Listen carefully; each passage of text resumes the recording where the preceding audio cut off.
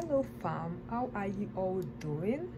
Hope you are reading your Bibles, you're spending time with God every day because that is where our strength comes from. You know, peace, joy, deliverance. Amen. So, God wants me to tell you that there is a spirit behind addiction. He wants me to reveal it to you today. The Bible says we wrestle not against flesh and blood, but against principalities, powers, rulers of darkness of this world, spiritual wickedness in high places. Ephesians 6:12. This shows that there is a spirit behind addiction and only God can save us. God helped me to break from all forms of addiction, like watching the wrong movies, including porn, jealousy, unforgiveness, lust, and so on. Before I gave my life to Christ, at 16, I was moving with the wrong friends. I was in secondary school, high school in Nigeria. I was 14 years old, and my classmates were watching the wrong movies. They said it was nothing, it's just a movie. So they convinced me, and I watched it with them. So immediately after I graduated from high school, Nigeria at 16 years old, I was far away from my friends. So God captured my heart and I became a born again Christian. So when I became born again, God started delivering me gradually from my old ways. God started teaching me how to say no to the wrong movies, no to hanging out with the wrong friends, because bad company corrupts good character. 1 Corinthians 15, verse 33. With God's help, I was able to say no to the wrong friends, no to the wrong movies. It was a gradual process. God showed me strategies to say no because He revealed to me that I'm a child of purpose and the devil doesn't want me to fulfill my purpose. That's why he's bringing all these distractions to cloud my judgment, to destroy my mind and heart. So God showed me how to spend more time with Him, meditate on His Word daily, listen to Christian music, listen to sermons that help me to fight the devil on a regular basis.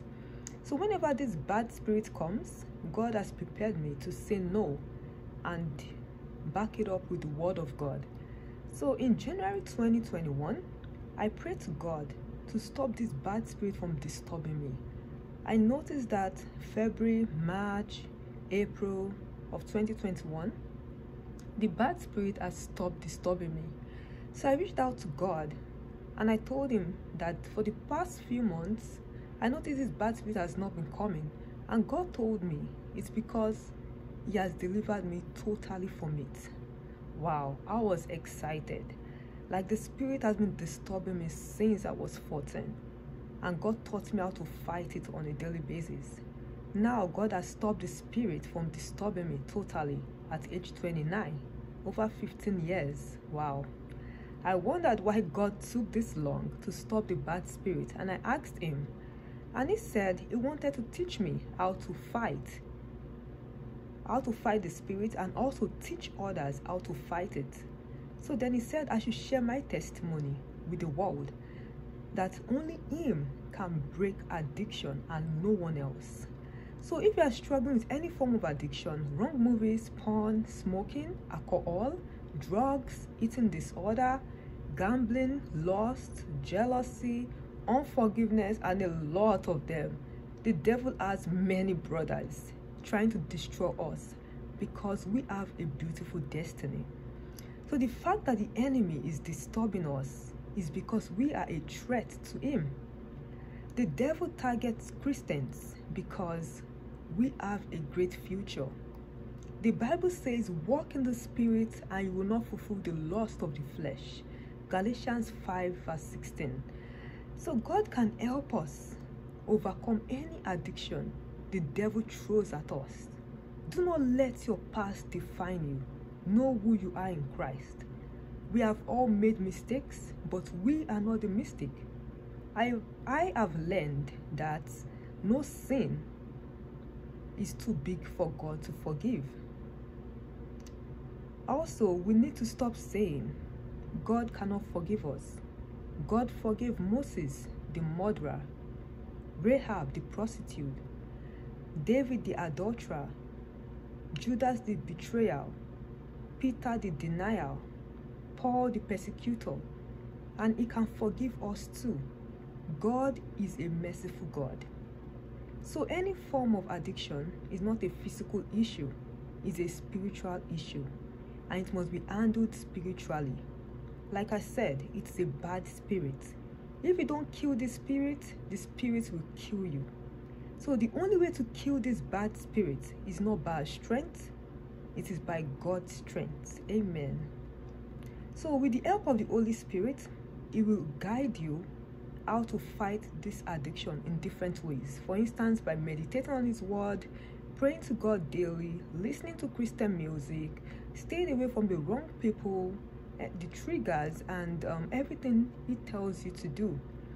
Then you will be delivered and you will help others to be delivered with God's help. Amen.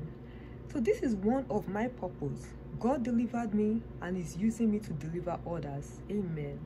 So, lean on to God, get closer to Him, and He'll give you strategies to overcome it. If you need more strategies that God has showed me, please reach out to me and God will use me to help you. Amen. We can deceive everyone else, but we cannot deceive God. There is nothing to be ashamed of. God has removed our shame. Amen. He said He sanctified us before we were born. Jeremiah 1 5. That means holiness is still in us.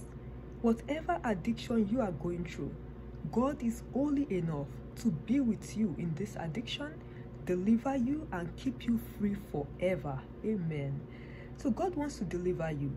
Run to Him today and you will be saved. God loves you and God bless you. Amen.